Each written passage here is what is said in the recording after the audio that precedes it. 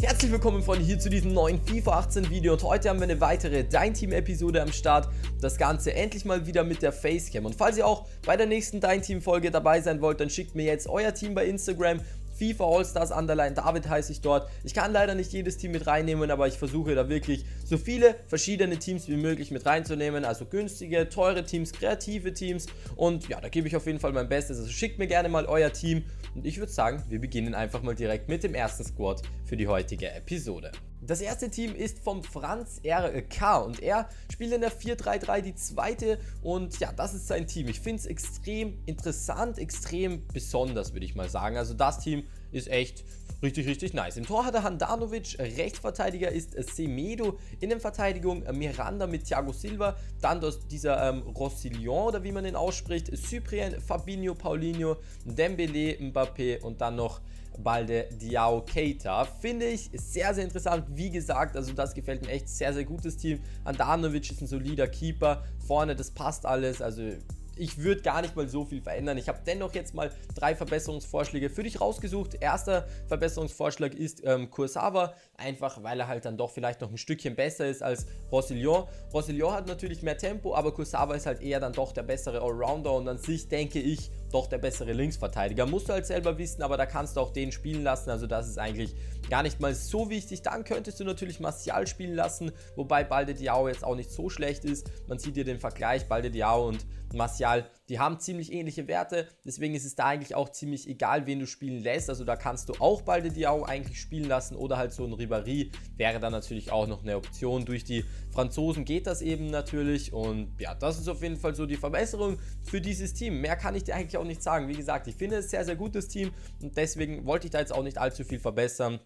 Eine sehr, sehr gute Mannschaft vom Franz RK. Und dann kommen wir jetzt auch schon zum zweiten Team für heute, gehen hier auf Dream Squads und dann sehen wir hier schon den FIFA oder den PIFA. Ähm, er spielt in der 4-3-1-2 Formation und dieses Team ist absolut genius, finde ich. Also das ist mal komplett was anderes. Er hat hier auf jeden Fall Donnarumma im Tor, Linksverteidiger ist Telles, ähm, dann hat er Jesus Moreno, das müsste Cancelo sein, genau, dann hat er Pineda, ähm, Pizarro, Herrera, ähm, Almiron, dann Dos Santos und dann noch Martinez. Und wir gehen jetzt mal die einzelnen Spieler ein bisschen durch. Teles hat auch sehr, sehr solide Werte, finde ich. Passt komplett. Jesus ist auch nicht so schlecht. Äh, Marino ist natürlich nicht so schnell, aber sonst auch nicht so schlimm. Äh, Cancelo ist stark. Und diese zwei ZMs da, die haben so hohe Tempowerte. 85 Pace hat der gute Mann. Natürlich jetzt nicht das beste Defending, aber 85 Tempo für einen ZM, das ist schon echt gut. Und das ist richtig ja, richtig positiv einfach für ihn, weil wenn die ZMs da einfach so fucking flink sind, dann ist das echt richtig genial. Der hat auch 86 Tempo, Herrera 74, aber an sich ist das Team schon sehr, sehr schnell aufgebaut.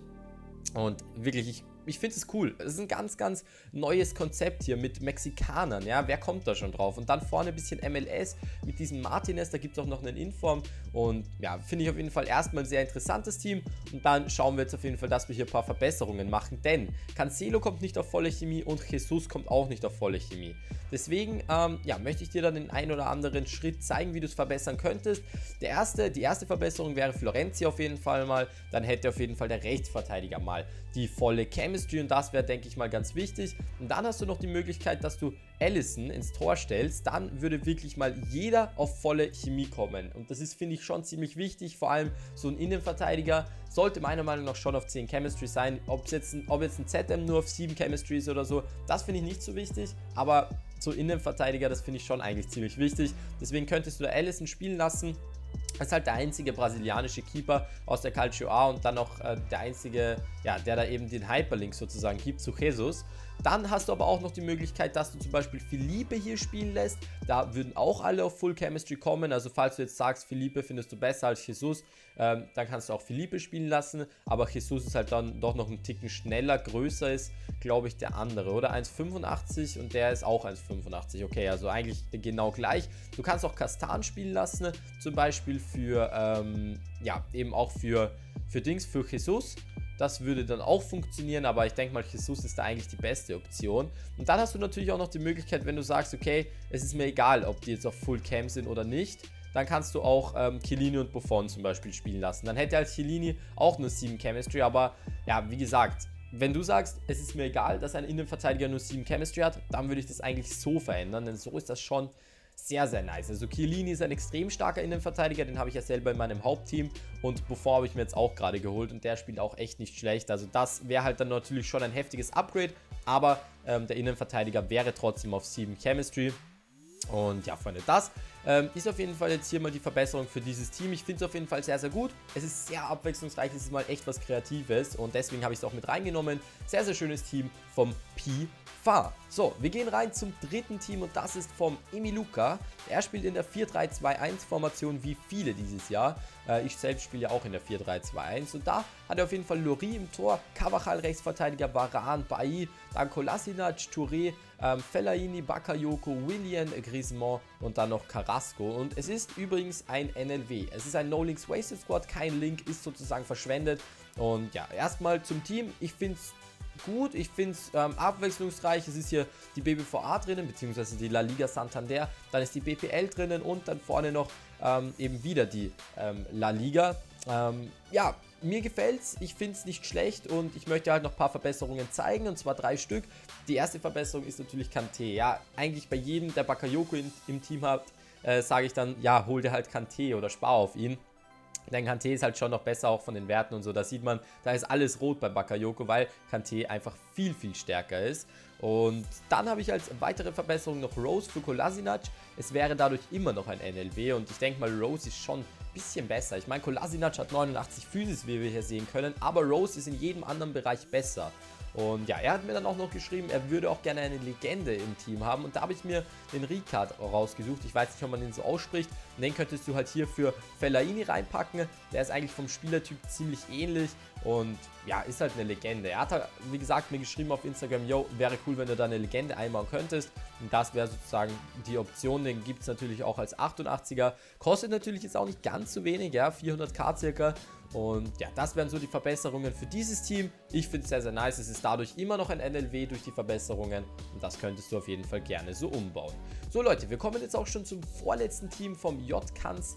Ähm, ja, 1887 sozusagen. Und da hat er ein richtig cooles Team. Also das habe ich gestern, glaube ich, im Stream ja zusammengebaut, beziehungsweise ja, im Stream habe ich gesagt, yo, schickt mir noch schnell ein Team und dann habe ich eben eins genommen von den Leuten, die im Stream zugeschaut haben.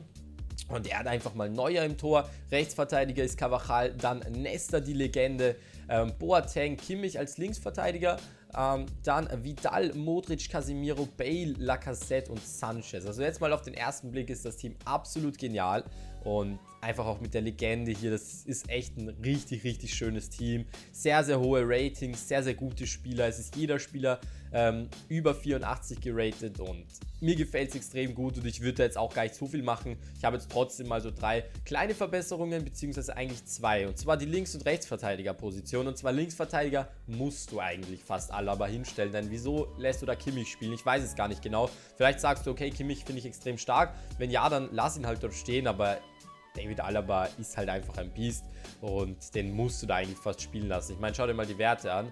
Da ist, da ist Kimmich besser, das wusste ich nicht. Okay, das wusste ich nicht. Ich dachte, Alaba ist überall besser. Okay, ja gut, es ist auch schon sein zweiter Inform von Kimmich. Aber Alaba ist schneller. Alaba ist schneller und er hat natürlich dann Full Cam. Ja, ich würde Alaba spielen lassen, trotzdem. Ich würde trotzdem Alaba spielen lassen. Und ja, Rechtsverteidiger könntest du entweder Florenzi spielen lassen. Der würde dann den grünen Link zu Nesta geben ist top, ist wirklich top. Oder du lässt Dani Alves spielen. Das musst du halt jetzt selber wissen. Der Vergleich zu Florenzi und Dani Alves, es ist ziemlich ausgeglichen. Also es ist ziemlich 50-50, ähm, wen du dann nehmen kannst. Du siehst hier, die Werte sind ziemlich ähnlich. Vom Rating her ist Dani Alves natürlich besser.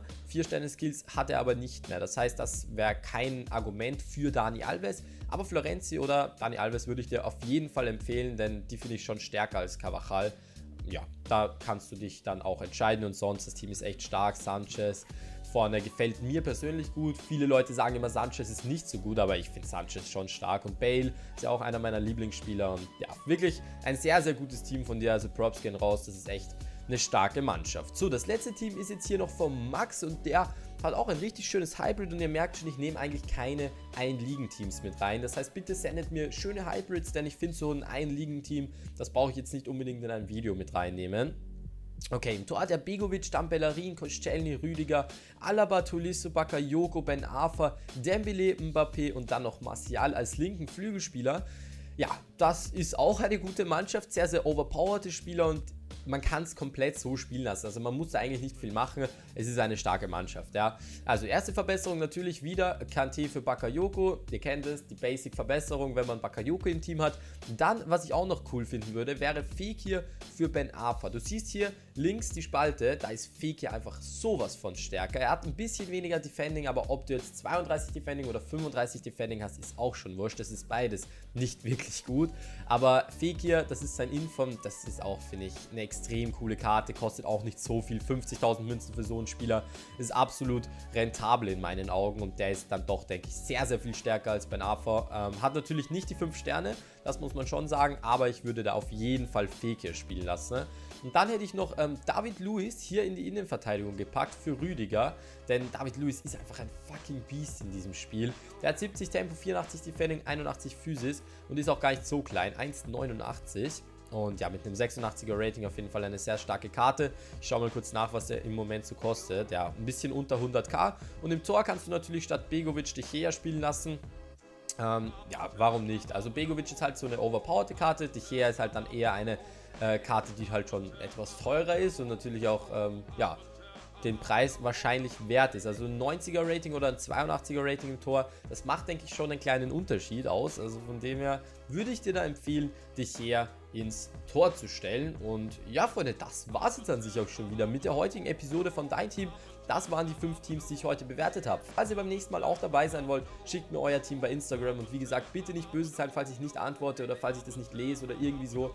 Ich, bekomme dann echt viele Nachrichten nach so einem Video und ich würde gerne alles beantworten. Ich gebe mein Bestes, aber es kann sein, dass ich deine Nachricht vielleicht nicht lesen kann, weil es einfach zeitlich nicht ausgeht. Ihr wisst ja, ich mache gerade Zivildienst, bla bla bla.